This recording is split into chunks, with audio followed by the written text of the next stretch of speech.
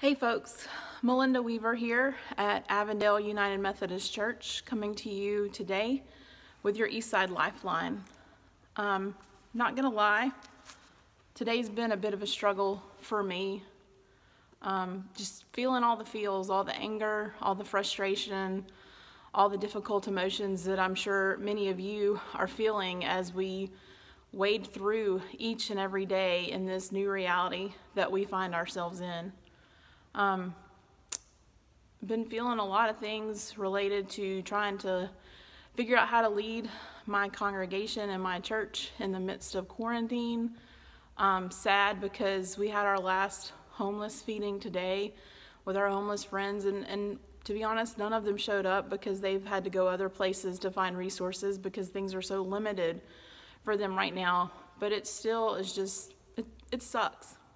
It sucks knowing that there's not much we can do right now. The best thing to do is to shelter in place, and I know that. That has been shouted loud and clear, but it's still hard. It's a feeling of, of helplessness, of wanting to, to do something. That's my nature, that's many of your natures as well.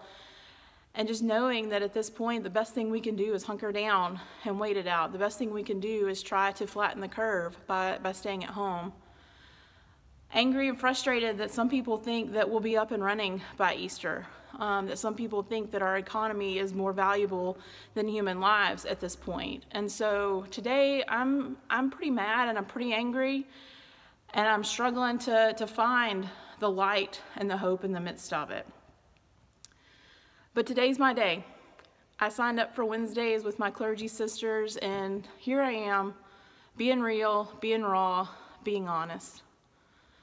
The one thing that, that keeps me coming back though is that call to love others and love neighbors and to find ways to do that. Um, I got a call today from, from one of our local community people who wanted to know if they could use our gym to help sort some of the masks that are being made. Um, just two or three to come in to do that so that then these, these masks that, that are being made on a crazy good level of, of seamstresses and people that, that do that sort of thing. I don't even know how to put it into words or articulate it, but they're doing this with HEPA filters and things like that. They're wanting to use space to be able to sort those so that they can then get those to the medical people.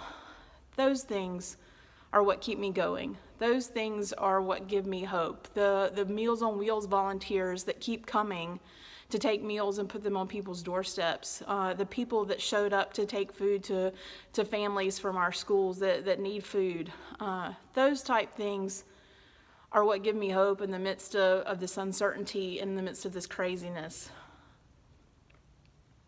And the place that I keep turning when I, I keep thinking about my faith and where God is in the midst of that, this is just, I keep going back to Psalm 121.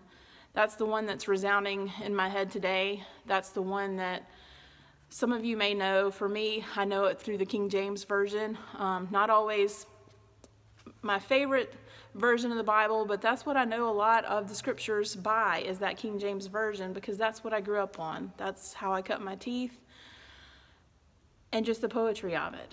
And so the thing that keeps resounding in my head is, I will lift up mine eyes to the hills, from whence cometh my help. My help cometh from the Lord.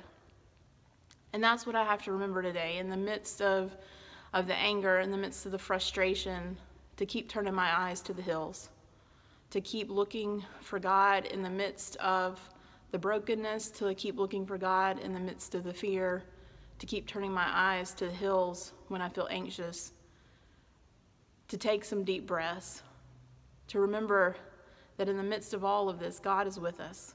God hears all our fears, all our frustration. God hears our cries. God feels our angers. God is with us through all of it. And even when I can't articulate things quite the way that I want to, that's where the Holy Spirit comes in with sighs too deep for words. And that's what I'm holding on to today. This is Malinda Weaver, Avondale United Methodist Church.